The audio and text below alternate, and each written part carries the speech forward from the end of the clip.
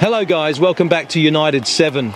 The Red Devils fans were frustrated after hearing what Steve McClaren had to do after United 1 0 defeat to Newcastle.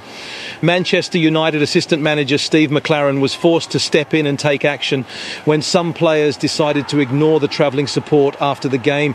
It was an evening to forget for United and their supporters who travelled hundreds of miles on a freezing cold night in the northeast. In fact, some fans must have been understandably frustrated after Saturday's full time whistle when a number of United players decided decided to head straight down the St James Park tunnel.